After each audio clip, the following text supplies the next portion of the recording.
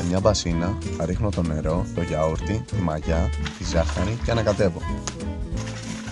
Προσθέτω το αλεύρι και ανακατεύω στην αρχή με μια ξύλινη κουτάλα και στη συνέχεια με τα χέρια μου.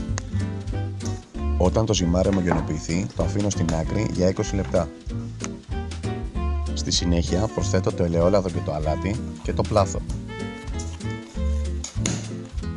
Αφήνω το ζυμάρι μου να φουσκώσει σε θερμοκρασία δωματίου για 2 ώρες και στη συνέχεια το βάζω στο ψυγείο και το αφήνω για ένα βράδυ.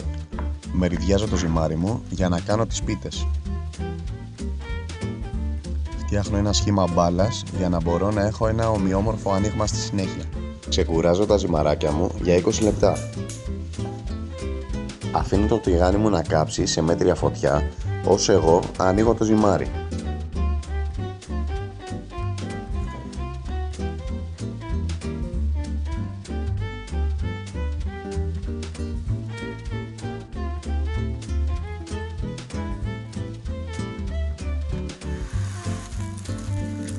Βάζω το ζυμάρι μου στο καυτό σκεύος και το καλύπτω έτσι ώστε με τους υδρατμούς να ψηθεί το ζυμάρι.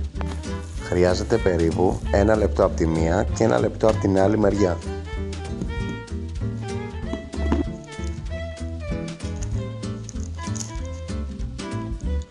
Κόβω σε κομμάτια το χοιρινό για να το περάσω σε καλαμάκι. Έχω μουλιάσει το καλαμάκι σε νερό.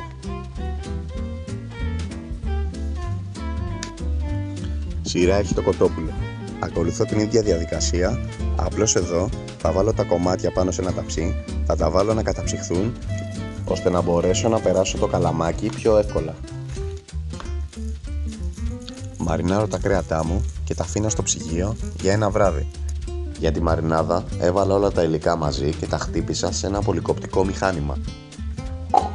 Χτυπάω το σκόρδα με το λάδι, τρίβω ένα αγκούρι, το στίβω ρίχνω αλάτι ξύδι και ανακατεύω.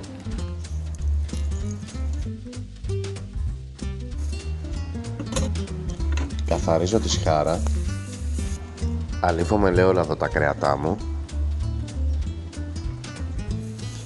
τα τοποθετώ πάνω στην καυτή σχάρα.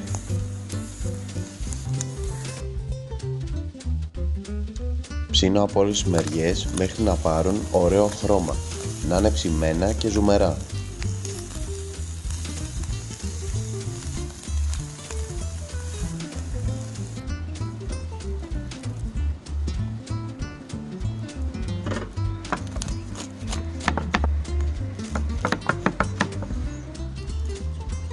Αν σας άρεσε το βίντεο, κάντε μου like, ακολουθήστε με και να περνάτε καλά.